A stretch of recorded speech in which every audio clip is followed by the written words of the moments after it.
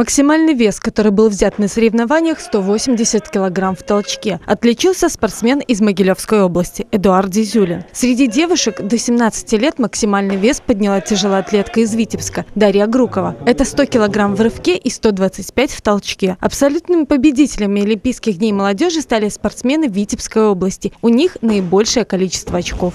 По итогам команда Витебской области заняла первое место – она набрала с командой Могилевской области одинаковое количество очей. И по, наиболее, по наибольшему количеству занятых первых мест она оказалась выше, чем Могилевская область. На третьем месте расположились атлеты Гомельской области, затем э, Брестское четвертое место и пятое Гродненской области.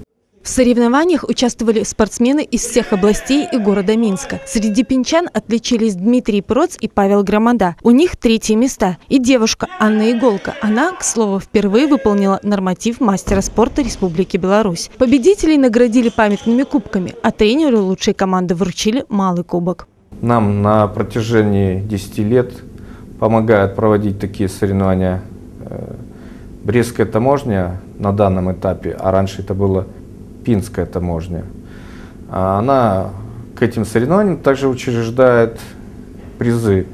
Э, по таблице Синклера э, три самых сильных юноши и три самые сильные девушки э, награждаются большими кубками за счет Брестской таможни.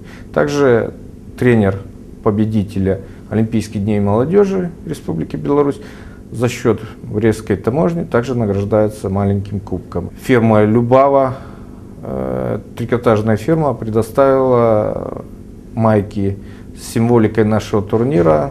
Наши спортсмены будут стремиться к более высоким результатам. Впереди у них еще много стартов.